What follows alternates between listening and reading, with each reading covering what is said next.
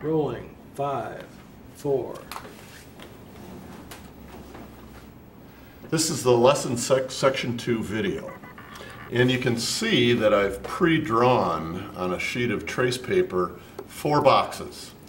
And you can also pretty easily see that all four of these boxes are projected to the left and right vanishing points. Well, what I want to do with these boxes is put a cover on them that is partially opened. And let me just draw the first box here. And I'm not going to render this exercise. I just want to show you that when you take an, uh, part of the box, like the lid, and we open that up at an angle, you can see that that lid is obviously not going to project to either the left or the right vanishing point. However, we have to use a vanishing point in perspective, even if we're drawing an inclined plane. So the way that we do this is we have to use perspective and we have to use an auxiliary vanishing point to put an inclined plane into perspective. All right, the back edge of the box is right here. And this inclined plane for the box I can see is projecting toward me. So the front of this box lid, the front of the box lid, is going to have to be slightly bigger than the back of the box lid.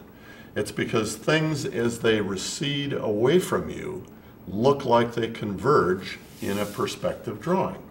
All right, so we have to determine auxiliary vanishing point. In this case, I'll take the angle of the box lid and project it downward to an auxiliary vanishing point directly below the left vanishing point.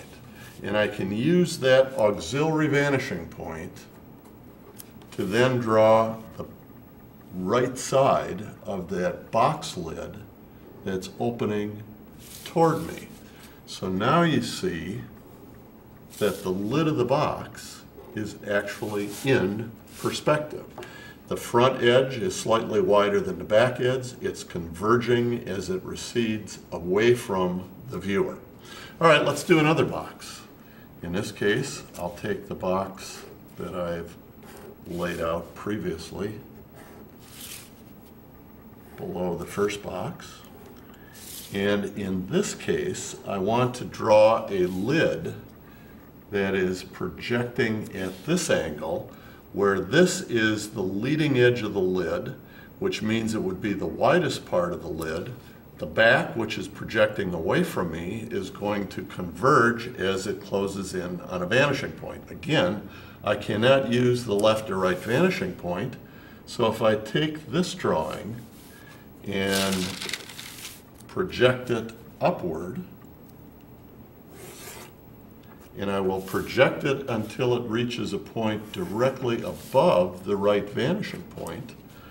Now what I can use, this auxiliary vanishing point, to do the other side of my open lid. And this side will be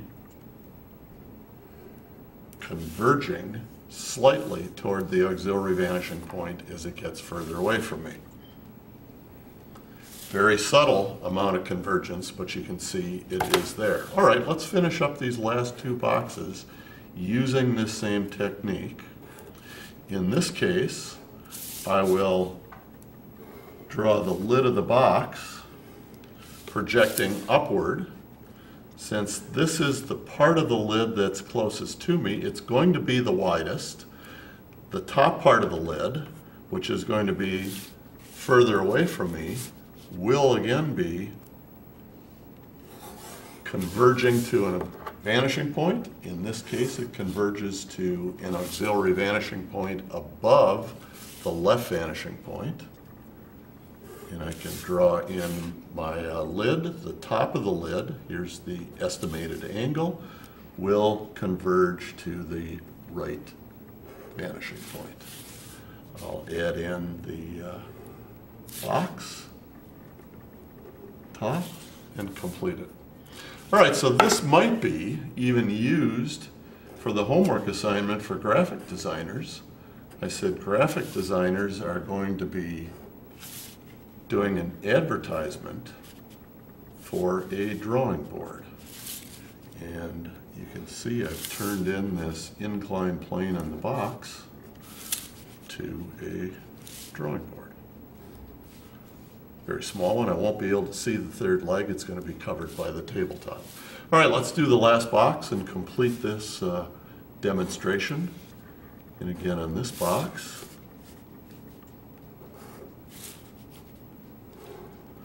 we will project the lid forward from the back edge. And as I project that lid forward, let's just kind of estimate the angle.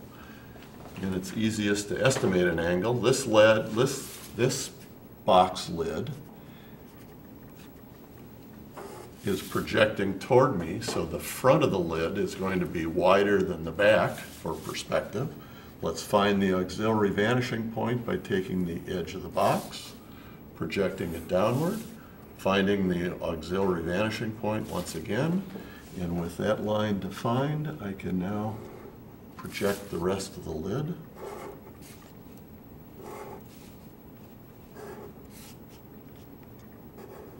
So it takes a little bit of thought to figure out whether the auxiliary vanishing point is below the horizon line or above.